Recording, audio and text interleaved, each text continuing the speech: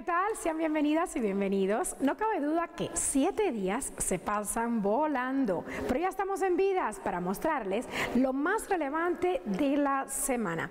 Me complace estar con ustedes en este programa. Mi nombre es Aisa García y los invito a que nos acompañen durante la próxima media hora. Hoy les saludo desde los pies del Monumento a la Revolución.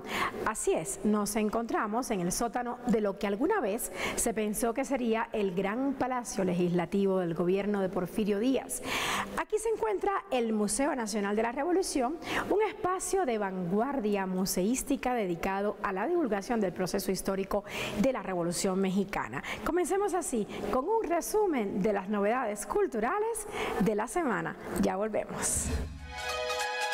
En Brasil, el arte francés se apodera de Río de Janeiro con la exhibición de arte del impresionista galo Claude Monet, una muestra que permite a los espectadores sumergirse en un giro del siglo XXI, con sus más de 280 obras del reconocido pintor parisino, célebre por este tipo de estilo pictórico desarrollado en Francia a mitad del siglo XIX. Dentro de la carpa de 15 metros de altura, en el Boulevard Olímpico de Río, los visitantes aprecian una secuencia de animaciones 2D y 3D, creando ocho narrativas visuales, enfatizando un aspecto de la obra y la vida de Monet, siguiendo sus pasos en paisajes al borde del agua. viagem em mais de 280 obras do Claude Monet né, e, e se aproximar dessa obra de uma forma que talvez nem indo ao Museu d'Orsay elas conseguiriam, né, porque a gente tem aquele distanciamento, aquela faixinha amarela que não permite você chegar tão perto da obra como, a, como aqui, que a gente pode colocar de uma forma muito calma, né, sem, sem atrapalhar a, a experiência do outro, a mão na tela e se sentir dentro dos quadros do Monet. Las principales pinturas que conforman esta hermosa exposición interactiva son las series de la estación de Saint-Lazare 1877, la Catedral de Rouen 1893, los Nenúfares de 1895 a 1926, el Palacio de Westminster de 1904 y el Gran Canal de 1908, y otras emblemáticas de Monet. Para mim é a primeira vez que eu vejo uma, uma, exposição interativa, mas achei fantástico a gente poder praticamente entrar dentro de um quadro e ver ele em movimento, quadros que a gente já tinha visto em outros museus pelo mundo e de repente entrar, entrar dentro deles é fantástico. Acho que é, foi sensacional. Río es la primera parada del proyecto, que fue producido en Brasil. Los curadores pretenden llevar la exposición a Sao Paulo e internacionalmente. La instalación titulada Monet a la orilla del agua permanecerá en Río hasta el 12 de junio para el deleite de los admiradores de la obra de este importante artista francés. En Venezuela, palmeros de Chacao se concentraron en el Parque Natural Guaraira Repano en la ciudad capital Caracas con el objetivo de recolectar palmas para ser ofrecidas a los feligreses católicos durante el tradicional Domingo de Ramos, ceremonia que se lleva a cabo en vísperas de la Semana Santa.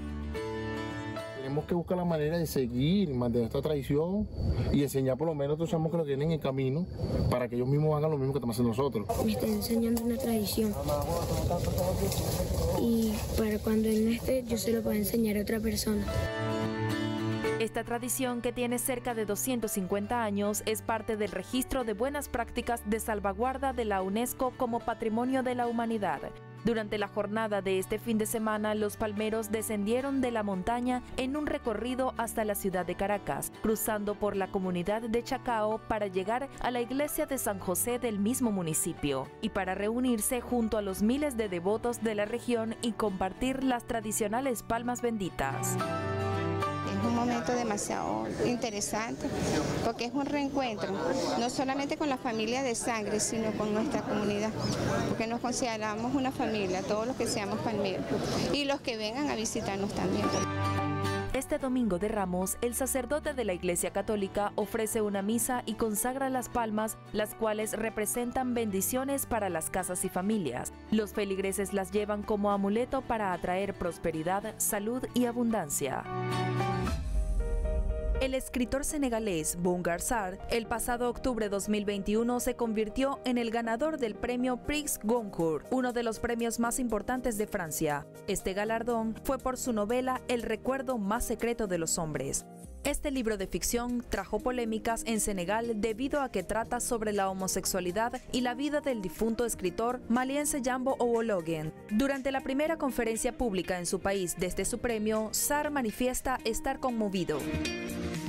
Euh, je suis sincèrement ému d'être là, entouré, euh, entouré, je crois, du peuple auquel j'appartiens profondément, qui est le peuple des lecteurs, le peuple des personnes pour qui la lecture, la littérature, l'écriture a quelque sens, à des degrés divers, me en euh. El escritor, nacido en 1990, es autor de cuatro libros, entre ellos Tierra Enredada de 2014, Silencio del Corazón de 2017 y Hombres Puros de 2018. Este último, relacionado con la homosexualidad, cuenta la historia de un hombre cuyo cadáver es desenterrado y luego arrastrado por una multitud fuera de un cementerio. Bogart también alega no estar sorprendido por la polémica que generó la publicación de este título. La polémique ne m'a pas réellement surpris. Euh, et même toutes les formes de, d'amalgame qu'il y a eu ne m'ont pas surpris. C'est-à-dire le fait qu'on prenne par exemple euh, de purs pour le livre qui avait eu le concours, ça dit simplement que certains n'ont pas lu et ne savent pas exactement de quoi il était question. Mais tout cela vraiment ne m'étonnait pas. Euh, je ne peux pas faire l'indifférent au point de dire que ça ne m'attend pas, que tout ce qui se dit ne m'attend pas. Je suis un être humain, tout ce qui se dit, a un certain point, m'attend. Bogart es un escritor con estilo acelerado, un novelista que escribe sobre novelistas africanos, a los que considera perdidos en Europa y enfermos de la literatura. Creció en Senegal, antigua colonia francesa, es el mayor de siete hermanos, se educó en una prestigiosa escuela militar de su país, vive en Francia y su lengua literaria es el francés de recordarle nuestro punto de encuentro en las redes sociales que es, tome nota, arroba vidas telesur, para Instagram y para Twitter, para ambas redes sociales. Úselas para comunicarse con nosotros e interactuar de manera constante. Estamos presentando vidas desde el Museo Nacional de la Revolución y le digo más, este recinto cuenta con tres áreas de exhibición. Un museo de sitio donde se aprecian las distintas etapas constructivas del Palacio Legislativo, una sala de exposiciones temporales que contempla la información sobre el movimiento armado de 1910 y su exposición permanente estructurada en orden temático y cronológico a través de ocho salas. Vale la pena visitarlo y lo haremos hoy, pero antes vamos a un corte para traerles más de vidas.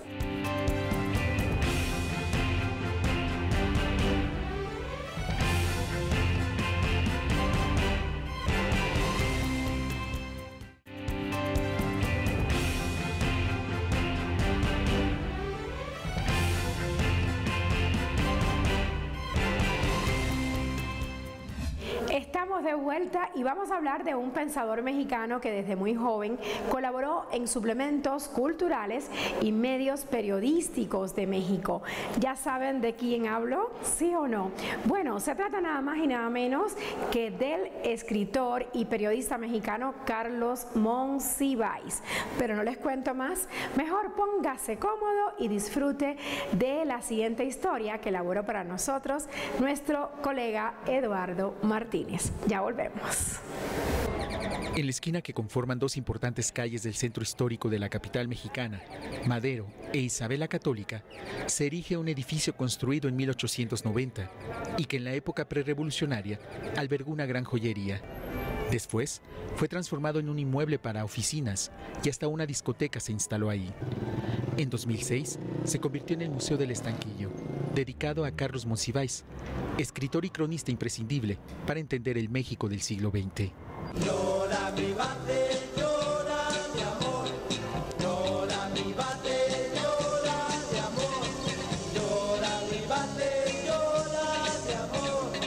No hay nadie como él, porque, pues por un lado, tenía una diversidad de intereses infinita que iba, digamos, de la poesía al cine mexicano de la época de oro, a la fotografía mexicana del siglo XIX y XX, pasando por la gráfica, pero también por eh, lo que uno puede observar en el metro de la Ciudad de México, en los salones de baile, en los conciertos masivos, en los hoyos funky eh, o en los conciertos punk. La primera de las salas está dedicada precisamente a Monsi, como le llamaban sus amigos más cercanos. Destacan las fotografías de las estrellas más afamadas de la época de oro del cine mexicano, pero también las de quienes vieron nacer la industria de la radio y la televisión en este país. Hay algunos objetos de personalidades que en algún momento lo conocieron. Imágenes de Juan Gabriel, María Victoria y Lucha Villa conviven con un gabán de Saltillo que perteneció a Chabela Vargas. Está increíble, realmente. No, no sabía mucho de Monsiváis yo realmente y ahorita ya viendo, está como que me está volando la cabeza, que es así como una persona increíble, ¿no? como un genio. Y no sabía hasta ahorita que estoy viendo y digo, ve, y tiene una colección increíble y todo lo que veo es como de, ¿cómo? ¿Dónde tenía todo eso guardado, no? En México, la palabra estanquillo hace referencia a una tienda donde se encuentra de todo. Así es este recinto. Lo mismo muestra la obra literaria de Monsiváis, que esculturas, maquetas, partituras y cualquier objeto que pudiera dar testimonio de la vida de este país en una época determinada. Monsiváis como coleccionista eh, tuvo la oportunidad de dar con grabados perdidos de algunos de los principales artistas mexicanos y los rescató eh, para una colección muy importante. Lo mismo hizo con eh, fotografías de, algunos este, artistas ya consagrados. Pero al mismo tiempo se interesó en coleccionar cachivaches, artesanías, fotografías de prensa o nota roja que no necesariamente formaban parte del canon aceptado. Y el conjunto de todas estas obras nos da un retrato de lo que es México. Se trata de una de las colecciones más grandes de las que se tiene registro en el país y está integrada por 40.000 piezas que han sido distribuidas en los cuatro pisos del museo, que en promedio, hasta antes de la pandemia, recibía 200.000 visitantes cada año. Desde 2021 fue montada la exposición que da cuenta del gusto musical del escritor y cronista, que guardaba una gran cantidad de discos que ahora están en manos de la Fonoteca Nacional.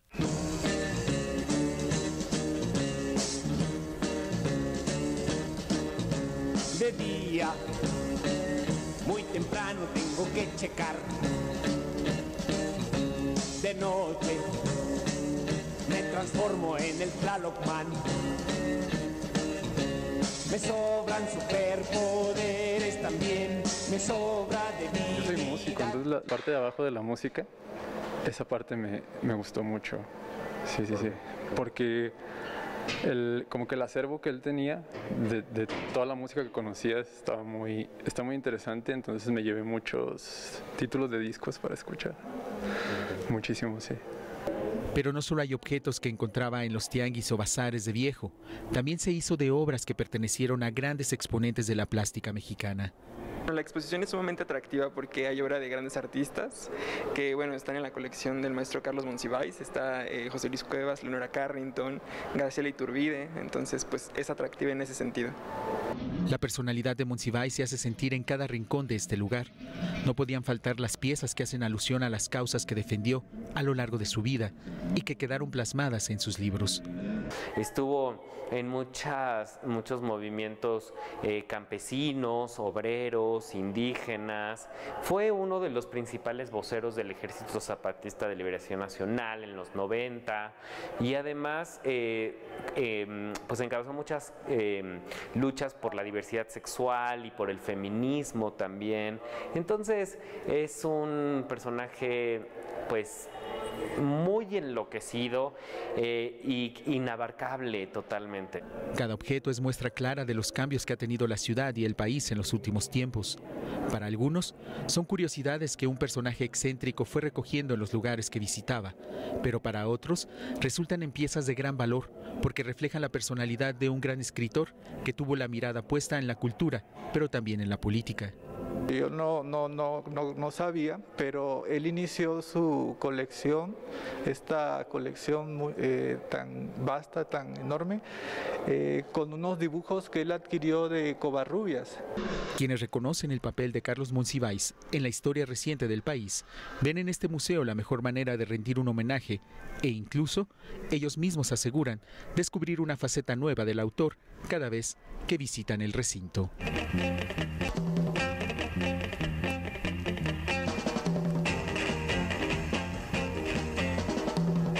Eduardo Martínez, Telesur, Ciudad de México. Excelente historia, gracias Eduardo Martínez. ¿Y usted qué opina? Espero su respuesta a través de arroba vidas telesur.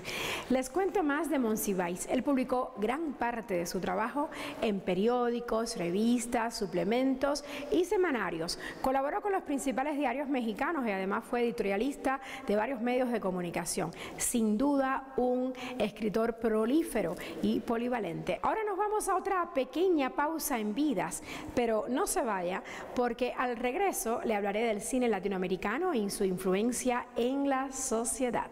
Ya volvemos.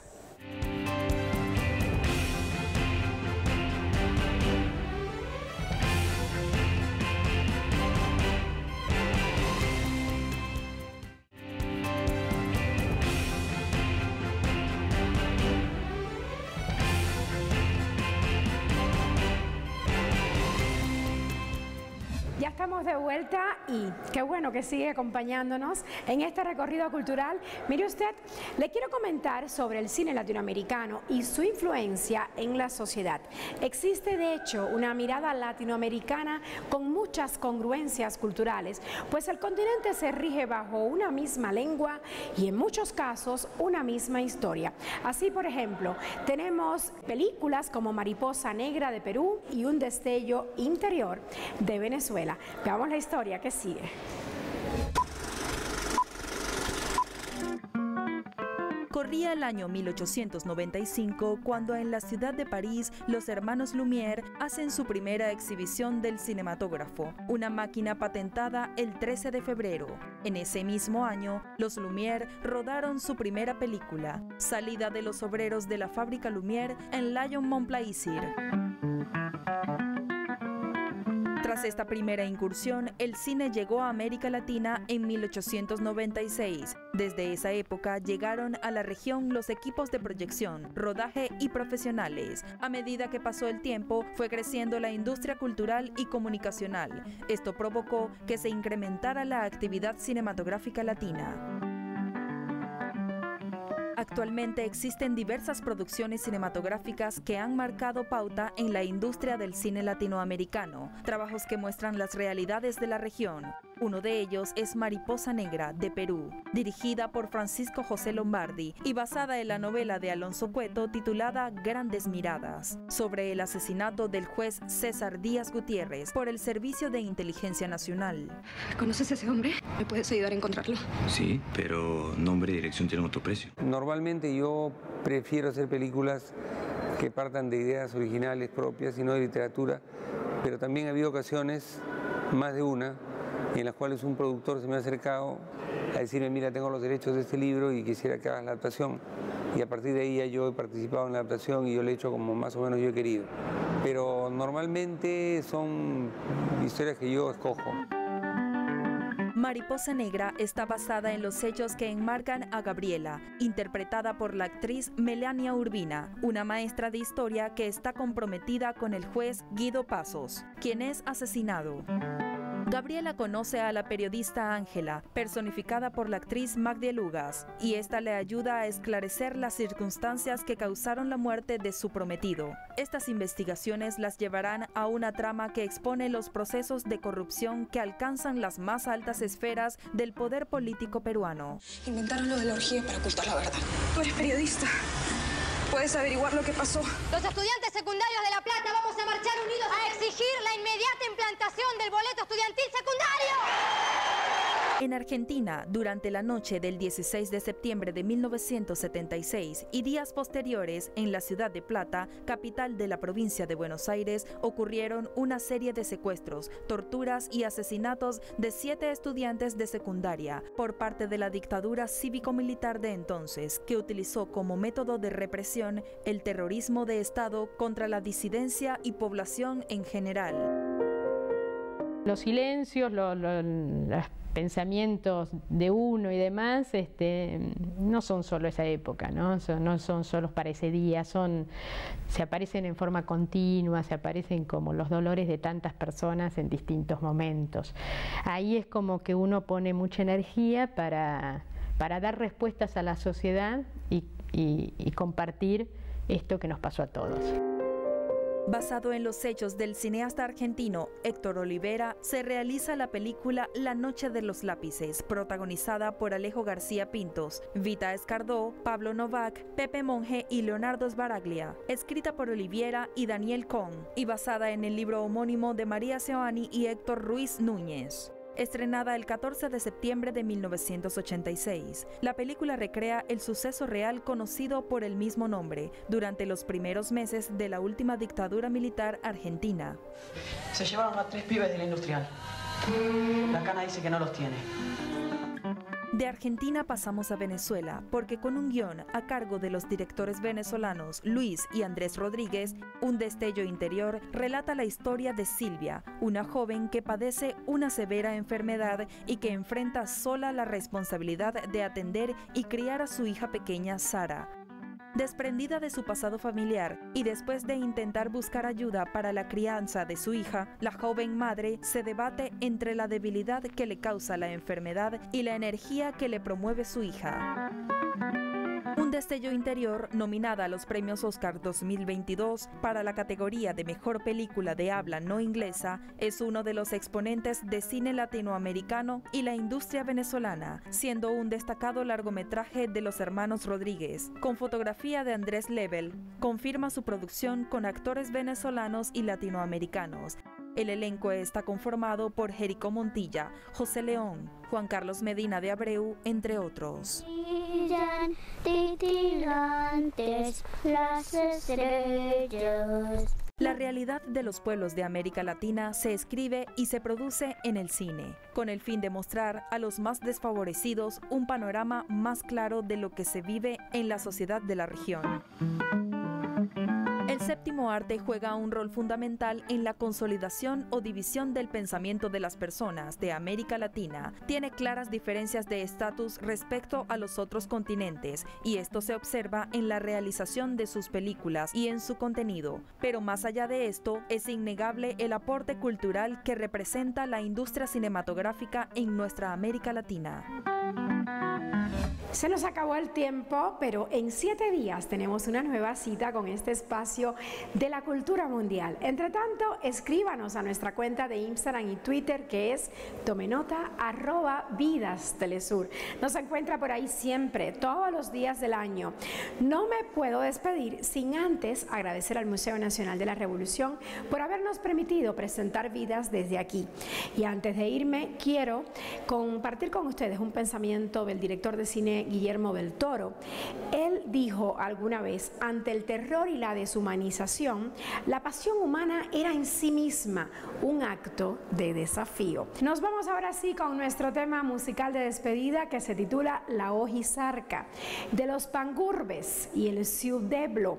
Esto es de Colombia y bueno, por sus letras cargadas de identidad de orgullo, nos recuerdan constantemente que Colombia es blanca, negra e india. Chao, los veo en siete días.